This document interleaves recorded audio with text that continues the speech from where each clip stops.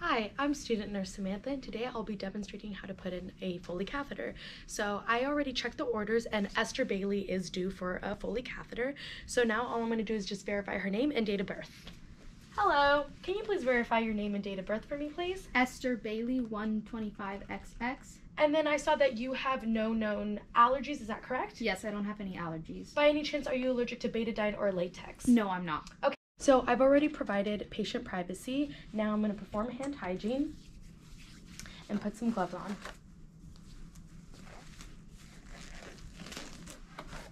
Now I'm going to um, inform my patient that I am going to expose her lower area and then I'm going to ask her if she could um, position herself in dorsal recumbent position.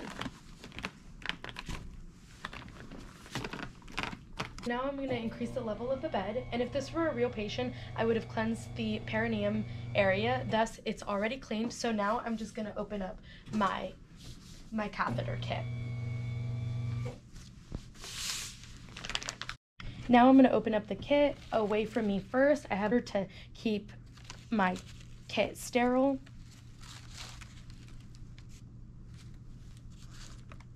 And usually they provide sterile gloves in the kit, but I, depending on size, I like to get my own. Okay, and now I'm gonna get my sheet. Shiny side is gonna be down. I'm gonna place it underneath the patient.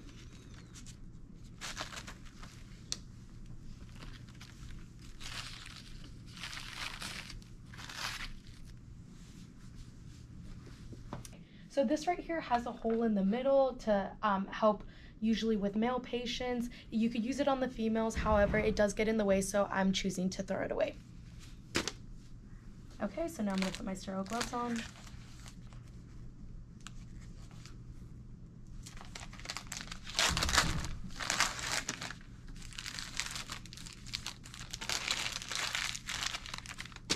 So at this point, I would take off my gloves I've taken off my old gloves and now I'm just to hand sanitize my hands one, one more time and then put on my sterile gloves.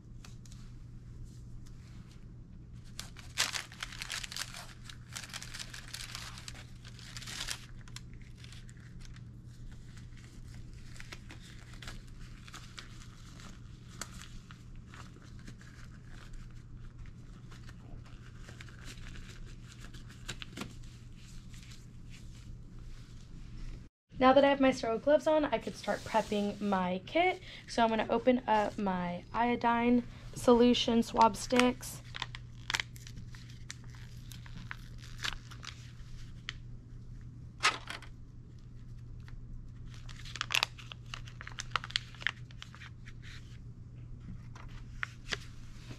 And I'm going to open up my lubricant.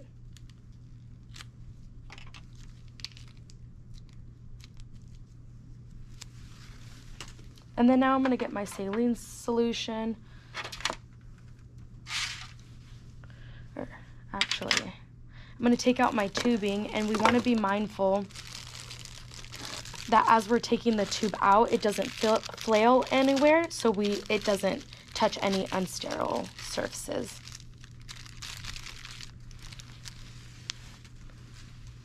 All right, now I'm to get my tubing, stick the lubricant in there.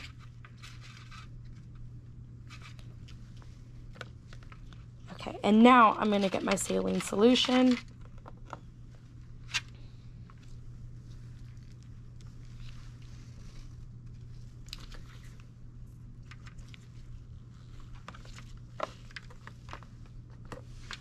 So I've attached the saline solution and we just want to make sure that we attach it. We don't uh, push any liquid yet. So now I'm just going to put this back on top that I have my sterile gloves on. I'm gonna put it in the middle.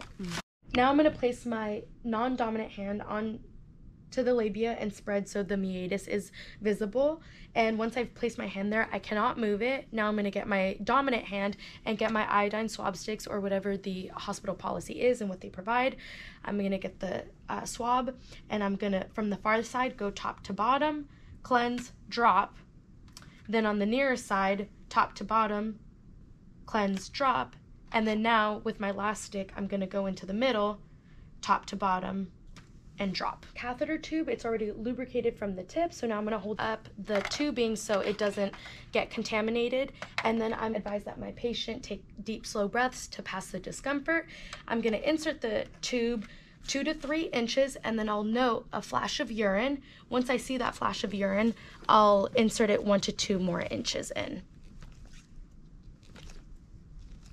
Okay, so we saw the flash and then one to two more inches in. Now with my non-dominant hand, I can uh, grab the tubing to keep it in place. Now I'm going to get my syringe, insert 10, 10 cc's of fluid for the balloon to fill up.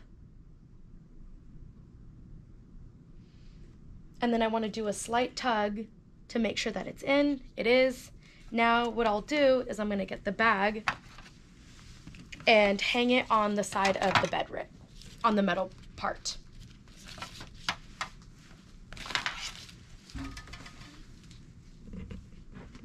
Okay, now I'm gonna take off my uh, syringe first. I'm gonna remove my gloves.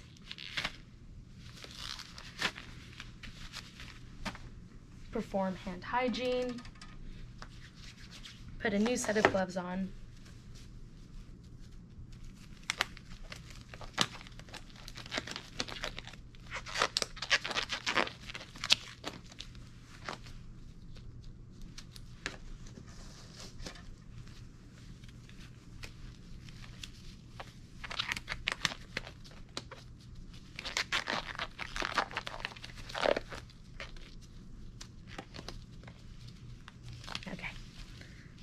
So now I'm gonna cleanse um, my patient. The purpose of this is betadine that we put on. So I'm first gonna clean the tubing first and then around my patient. And then we could proceed to remove everything.